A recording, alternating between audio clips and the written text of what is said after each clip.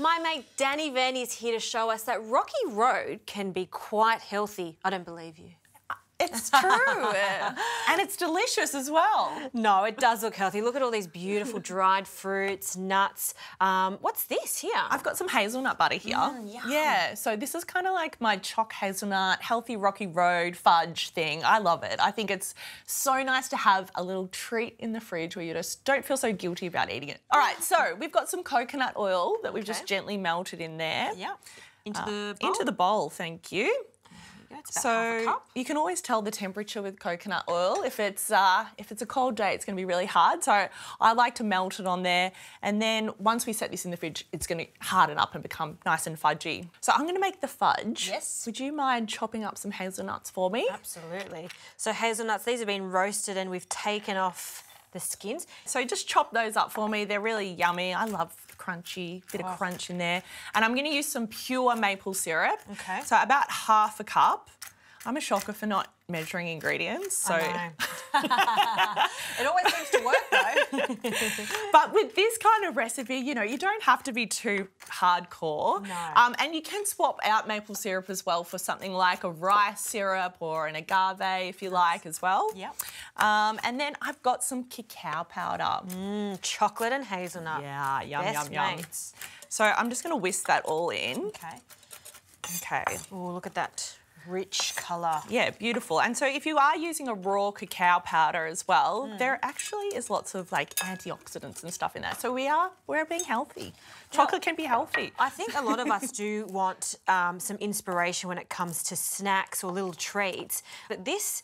You kind of won't feel guilty having this, especially when you make it yourself. There's a sense of achievement, um, Yeah, that's right. and it's it's really yummy. It's so good. And I love, oh, I just love nut butters. Well, let's talk about nut butters. Mm-hmm. Um, if you can't find hazelnut butter, what are a few substitutes that you can get that are readily available, um, even at the supermarket? Yeah, there's some really great nut butters out there Mm-hmm. at the moment. Um, you can find uh, alternative choc hazelnut spread that's kind of like a healthy Nutella. Yep. You could even go something like a, an almond butter or an Nice. ABC butter. Yep, nice one. So this is our fudge. You can see it's nice and glossy and smooth. Yep. And we need to pimp this up a little bit. I like those words.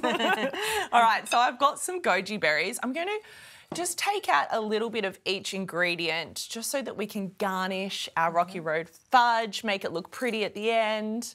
Nice. So some goji berries. I really love making dishes nice and colourful. So for this, I've chosen some ingredients that are a little bit festive. Goji berries. Mm-hmm. I've got some dried cranberries. Now, these are the chewy element that you might find in, say, a traditional Rocky Road. Yep. And I've also got some pepitas as well. Now, these are just pumpkin seeds. You can find these roasted as mm-hmm. well. So you can use them raw or roasted, either will work. And you can sub it out too. So many different dried fruits that you can use, so many different nuts and seeds. You can play around with it. Yeah. You know, I'm a big fan for substituting with whatever you have in your pantry. So we've got some coconut in there. You could use desiccated coconut. You could use coconut flakes. And then, of course, we've got our yummy hazelnuts. And that's it, really. That's isn't it. Like, we're just going to mix that all together. It smells so good. And you've got uh, just a tin there, 20 by 20 centimetres. I see that you've lined it with some baking paper.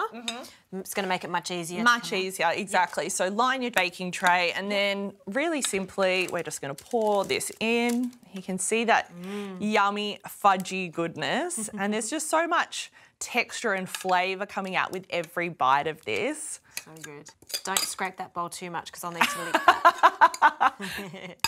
so we're just going to sprinkle over the extra nuts, seeds and dried fruit that we have. And then does this stay on the bench or do we have to put it in the fridge? Definitely in the fridge. So we want to we want to set that. And what I was saying earlier about coconut oil, when it gets cold, under 26 degrees generally it hardens up, but obviously in the fridge it's going to harden to the point where we can slice it. So Yeah. that's what we want. All right, great. We'll pop the little garnish on and into the fridge. Yum.